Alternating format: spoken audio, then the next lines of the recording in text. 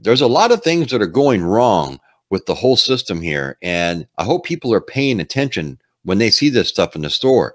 When you see the prices of meat and you see the cut of it, look at the price of chicken now. It's it's gone way up. And the pieces and stuff are all smaller and smaller. I mean, you're you're paying more, but they're harvesting these things too young. They're not letting them grow. And that's probably because of the whole bird flu thing and all that and what took place there. And they had to kill off millions and millions of birds. So now they're trickling it back in and they can't catch up because there's a high demand for chicken because it's still one of the cheapest ones. It's the cheapest meat that you can buy that you can eat.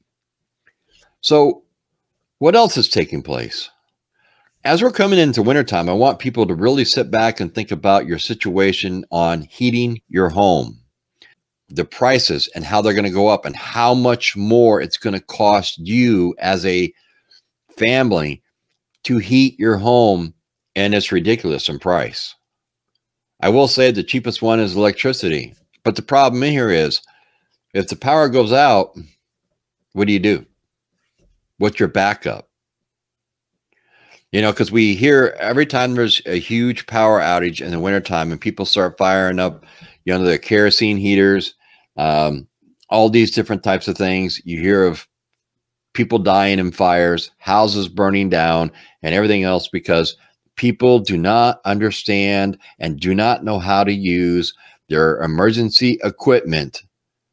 And they wait until it's time for the emergency to figure it out and that's where this all comes into play. That's why I've always have said that is very important for everybody if you have emergency preparedness equipment that you are not sure how to use, get it out, use it, figure it out because you want to do all that before the emergency gets here. So when the emergency gets here, you know what to do, what not to do, and this way here, you can stay prepared. You can stay ahead of the game. You don't want to be trying to figure this stuff out in the middle of a crisis. That is the wrong thing to do. Whether you want to consider yourself a prepper or not, common sense, I know that's a big one, common sense states that you have to make sure that you are trying your best and know how to use a product, whether it be a Coleman stove, a flashlight. You know, I mean, whatever it is, you know, it sounds kind of, you know, silly or stupid to us, but there's people out there that probably do not know how to work a regular flashlight or, you know, how to change the batteries. There's people out there that probably don't know how to use a headlamp, how to turn it on. What is all the dif dif different types of features on a headlamp? You know, you have the strobe, you have, you know, all the different brightnesses and everything else you know, these are things that you need to know before the problem arises. And what's going to be taking place this coming winter, folks? I'm warning you now. These prices, they're going to keep these prices up. If you have propane, you're in trouble. No, that's all I'm going to say, folks. If you heat your home with propane, you are in trouble. You might want to take a loan out now. And this is what I really suggest that people really need to be doing is looking for alternative sources for heat coming into wintertime. You need to start doing this and doing it now because you're running out of time before winter gets here. We don't know when it's going to arrive, but I'm sure, you know, we're coming into September. Probably by October, the snow will start flying in some of these states. Depends on where you live. But it's just the fact of the matter is, do you have an alternative heat source, reliable. Now I'm talking about maybe even a wood stove. I'm talking about something along the lines of um, maybe a pellet stove or something like that. Because even if you have a pellet stove, yes, you can buy a battery bank that you can hook to it so that it will fire if you don't have power. If you if you have a, a battery bank yourself, you can keep that thing running all the time. If you have a wood stove, well, as long as you got wood, you got heat.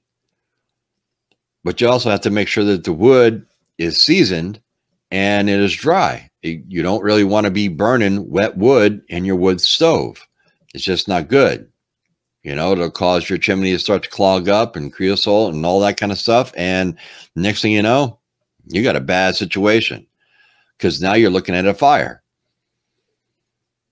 So it's another one of those things where you have to make sure that you understand and you know what to do. So you want to make sure that you are trying to look now for alternative heat sources come wintertime. If something happens that you can't afford heat, because with the recession that we are in, with the higher inflation rate, people are going to be coming down to making two choices. Do I heat my home or do I buy food? Hell of a choice, huh? I mean, really, think about it, folks. I'm sure there's going to be people that's got their heat set as low as it possibly can go to try to stretch their fuel oil or their propane out as far as they can get it. Because those are the two top dollar ticket items this year. Is propane is number one, fuel oil is number two. Then natural gas, you know, electricity is the cheapest. But I'm telling you, folks, you got to start coming up with a plan now. I'm warning you now. You got to prepare now. And if nothing else, what you need to be doing is putting food up now. I don't care if you think you're going to be labeled as a prepper, whatever. All right. You have to think about what you have to do for your family. This is something that people have been doing for hundreds of years. Back in the day, people used to put up food to get them through the winter. It's what they did. Everybody canned back in the day. And they had cellars or, you know, they had rooms or whatever they put them. And they'd put food up to get them through the wintertime. And that's what's key here.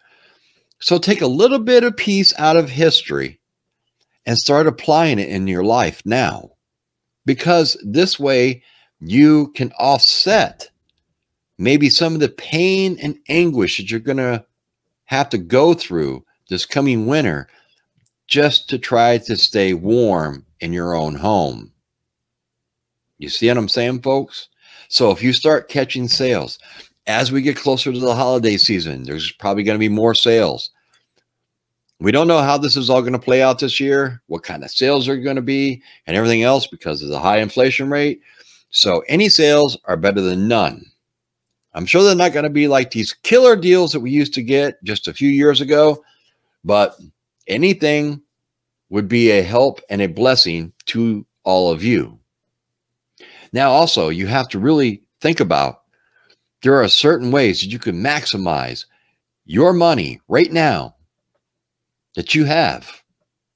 You can maximize it by getting apps on your phone for all your local stores you can maximize it by looking at flyers, looking for the buy one, get ones. Those are a no brainer. You can also maximize your money right now by making sure that you're trying to find the best deals on meat. And I would highly suggest if you are trying to put up some maybe meat for wintertime, you invest in a vacuum sealer. Because if you vacuum seal your meat, and put it in your freezer, that's going to last you a year plus, hands down. So you're going to get more out of your hard earned money that you're spending to buy meat than you are if you don't use a vacuum sealer. If you just buy freezer bags and you throw them in there, I guarantee you within three months, they're going to be freezer burned. They're going to be no good. So spend the money, buy yourself a vacuum sealer and this way here you can vacuum seal your your meats you can vacuum seal your vegetables if you buy it from say a farmer or whatever else you know you can vacuum seal your own vegetables and everything and they're going to last for over a year. Fresh. Fresh vegetables. You're the one that's freezing them